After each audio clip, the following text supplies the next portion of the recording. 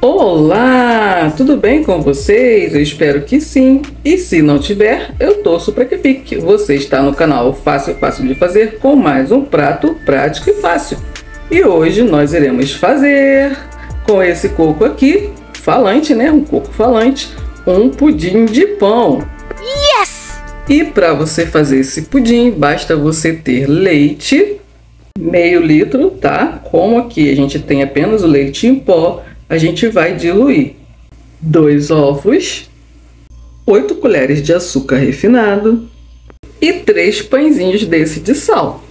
Nós iremos colocar toda essa mistura no liquidificador. O meu pudim de pão leva coco, tá, gente?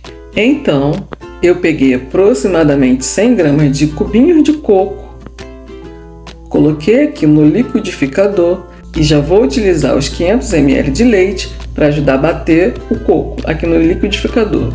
Lembrando que eu utilizei o leite em pó, né, gente? Então eu peguei 500 ml de água e coloquei o leite em pó para bater junto. Gente, o meu liquidificador tá vazando, ó. Se inscreve aí no canal, vai. Se inscreve aí para dar uma força pra gente, quem sabe, né?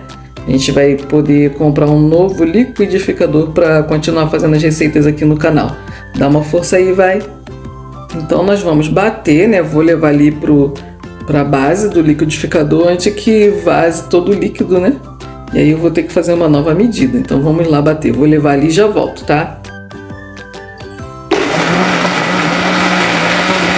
Como a gente bateu e engrossou um pouquinho mais o líquido, então ele tá vazando menos, né? Mas continua vazando. Então deixa eu acrescentar logo os outros ingredientes aqui antes que o líquido vá embora.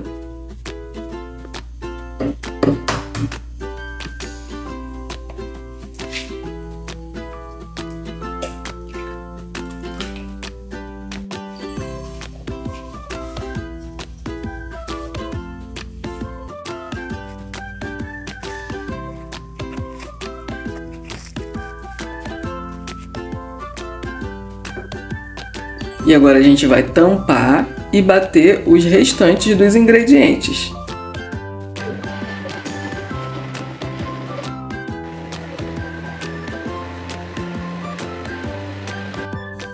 Então, gente, eu já bati ó, e tive que passar para outra vasilha para não perder o líquido, né?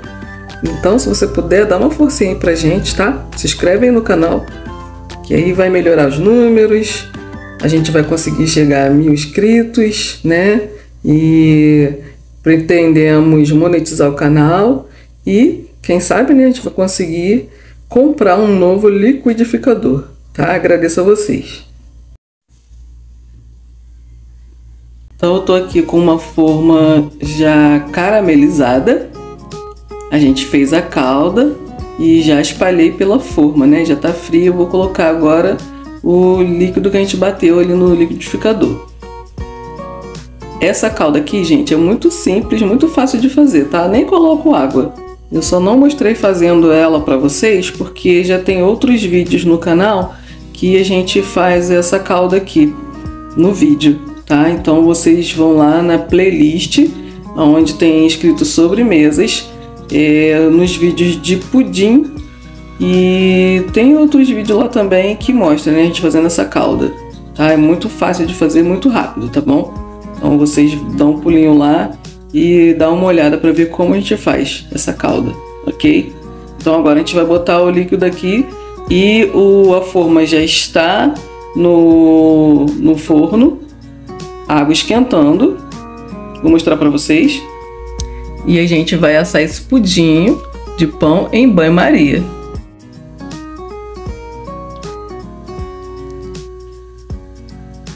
Forma cheia, agora é hora de levar ao forno.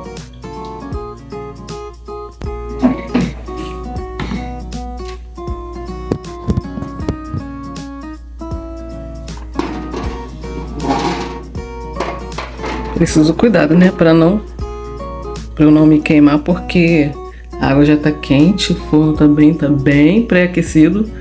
E agora a gente vai aguardar. Daqui a pouco eu mostro para vocês como que ficou. Hum, olha gente, como ficou. Experimenta fazer que você vai gostar.